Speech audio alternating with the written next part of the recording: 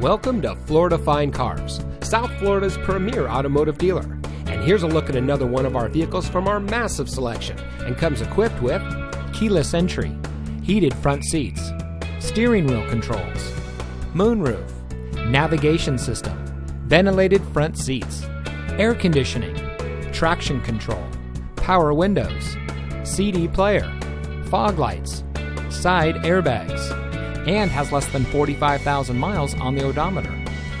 Florida Fine Cars has positioned itself as a national top five provider of pre owned cars. Our ultimate goal is making your buying experience stress free, and it shows. We've been awarded the prestigious Customer Satisfaction Award by DealerRater.com two years in a row. We also offer free Carfax reports and Kelley Blue Book market price comparison on every vehicle in inventory. Thank you for taking time to look at our vehicles.